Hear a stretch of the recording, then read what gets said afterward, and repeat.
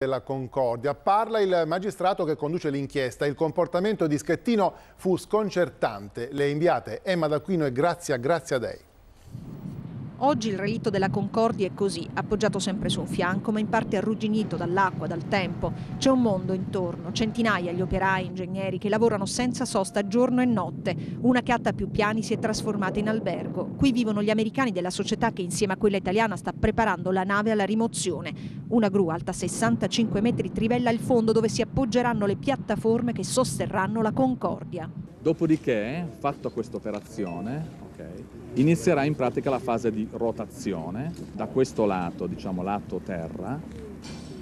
I sommozzatori stanno preparando 12 torrette, okay, da dove partono dei cavi che al momento della rotazione faranno sì che tratterranno il relitto e lo faranno ruotare con la giusta velocità e il giusto equilibrio. Questo è un lavoro da 400 milioni di dollari, molti di più rispetto alle previsioni. Alla fine, se tutto andrà bene, 15 cassoni faranno da salvagente, alla fine dell'estate la porteranno via. In questo paese la nave dobbiamo essere sinceri, nonostante la tragedia e tutto quello che ha portato, ha portato anche lavoro, soprattutto grazie a tutto l'indotto che c'è dietro. La targa che ricorda le vittime del naufragio è nascosta da un telo sul molo, pronta per essere svelata domenica durante la cerimonia in ricordo di quella tragedia.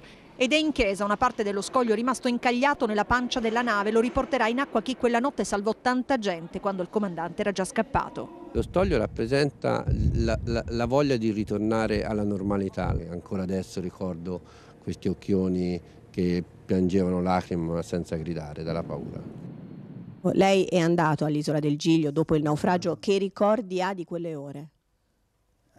La prima cosa è, mi ha fatto molto impressione vedere questo gigante del mare adagiato una, sul lato, sullo scoglio e poi mi ricordo la confusione. Adesso ho paura!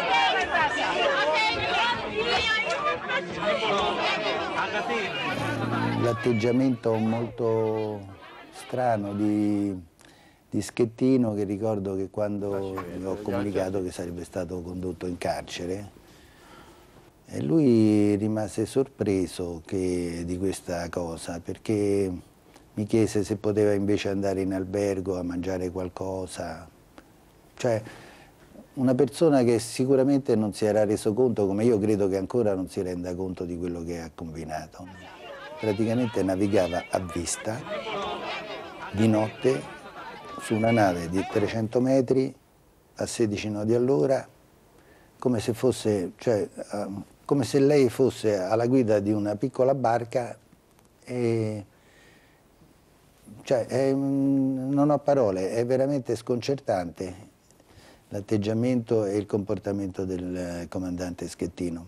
Voi state eh, preparando le richieste di rinvio a giudizio che potrebbero riguardare solo 8 dei 12 indagati? Sì, dire il contributo causale è abbastanza marginale da parte di tutti gli altri componenti dell'equipaggio. È evidente che la responsabilità maggiore è quella del comandante Schettino. Grande clamore a Parigi per l'uccisione di tre